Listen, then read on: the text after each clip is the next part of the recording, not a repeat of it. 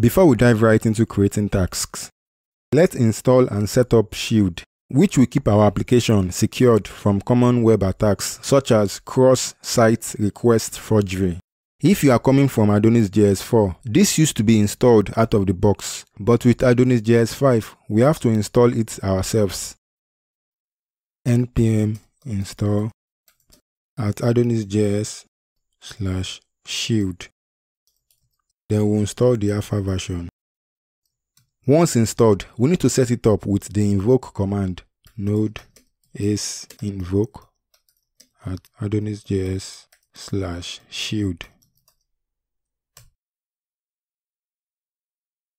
We will choose to show the instruction in the terminal. Next, we need to register the middleware inside the kernel.ts file.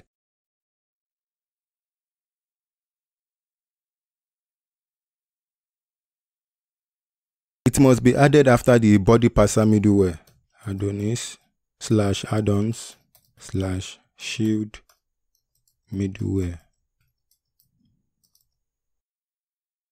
Now we can move on to creating tasks. First, let's define the routes.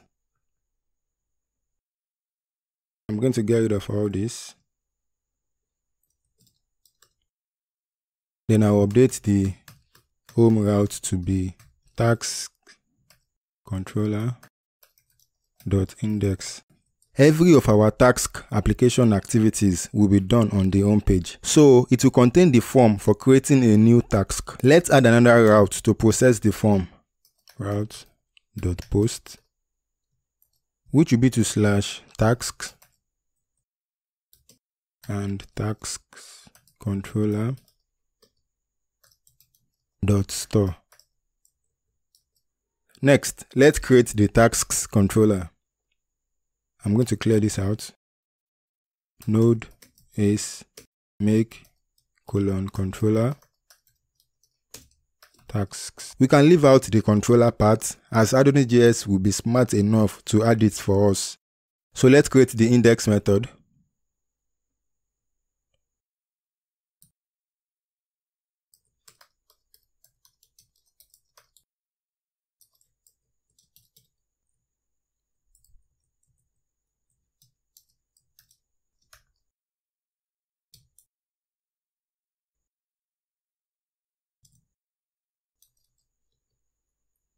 Return view dot render tags slash index. Let's update the index view to include the form.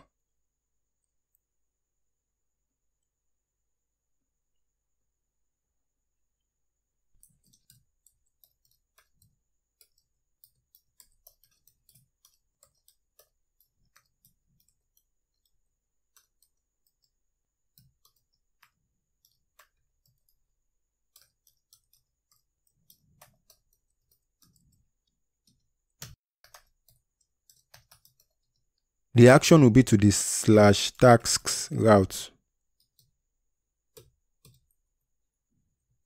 The form is going to have just one field, which will be for the title.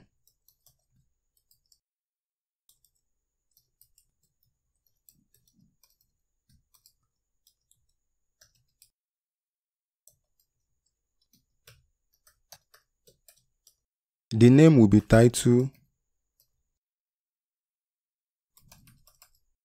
I will give it a class of input. Let's add a placeholder, which will say what needs to be done. Then we'll have the submit button.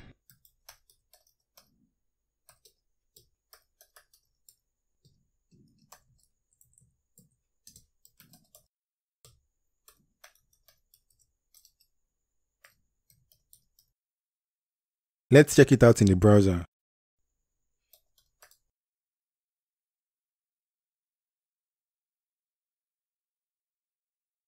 Now let's add the logic for processing the form.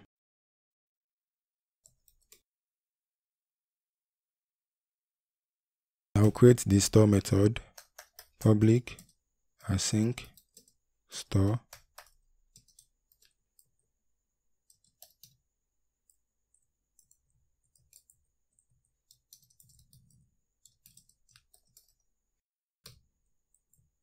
we will pull in request and response.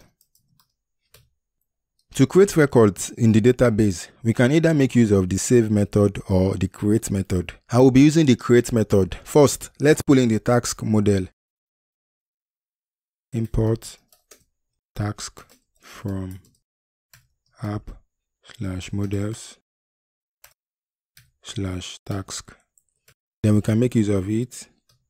Await task dot create this accepts an object containing the columns defined on the model. Title will be request dot input title. This will assign the value of the title input field to the title property on the model. The create method will return an instance of the model, so we can save it to a variable But for our use case, we are not making use of the model instance, so I'm going to get rid of this. Finally, we will redirect back to the page. Return response dot redirect back. Let's head over to the browser and try creating our first task.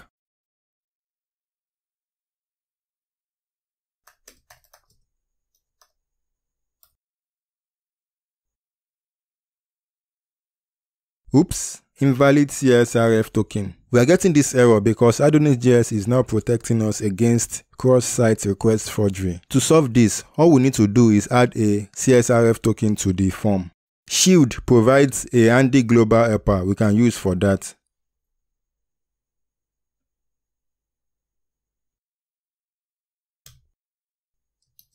which is CSRF field. Let's head back to the browser.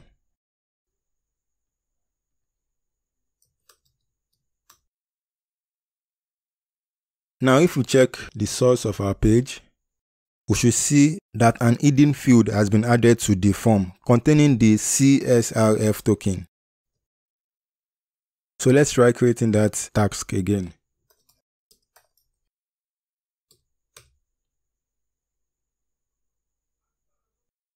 As expected, we are redirected back to the page. Let's take a look at our database to see if the task has been added.